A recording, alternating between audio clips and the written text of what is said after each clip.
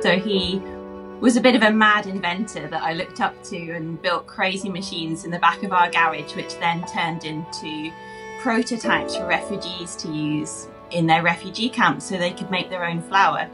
And uh, even as a tiny little girl, I used to have this big map of the world up on my wall. And I used to get or make tiny little flags or little lumps of Blu Tack and just put them all over the globe where my dad was out helping people. And then what happened as I grew older, I started to ask more questions about, well, you know, why are these refugee situations happening? Why is there this poverty? Why is the world so difficult? And it wasn't this simplistic fight between the good and the evil, but just how it was all tied up in humanity and love and greed and power and compassion and so many things all entangled together make this world what it is.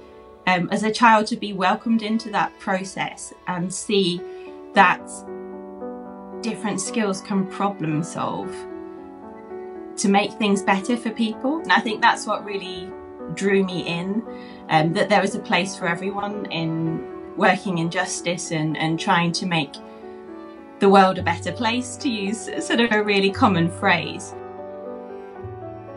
I'm not a natural scientist as such, but I really found my place in medicine, in the art and the craft of caring for people and health, not just as the absence of disease, but health as the ability of a person to flourish.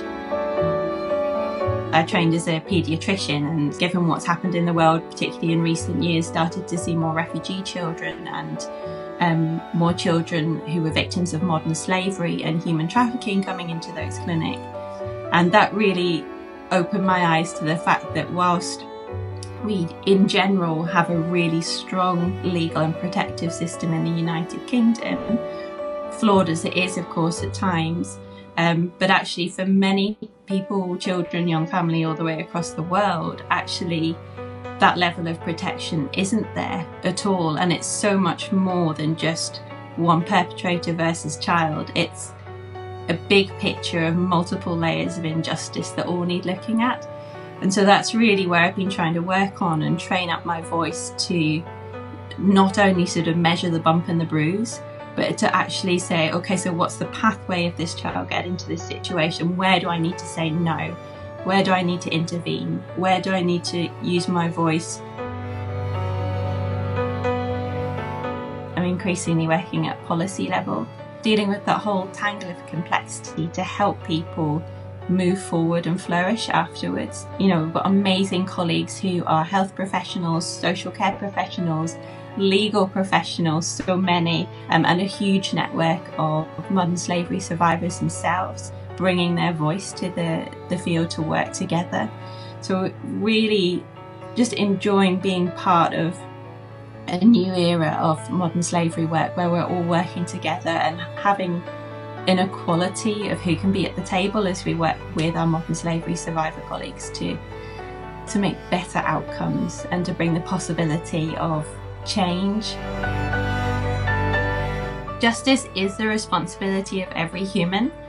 And I think when it comes to justice is not to get paralyzed and overwhelmed by the sheer level of injustice in the world because everybody has their own life and their own people that they're with where justice can be enacted and decisions for justice and against injustice can happen at that really small scale.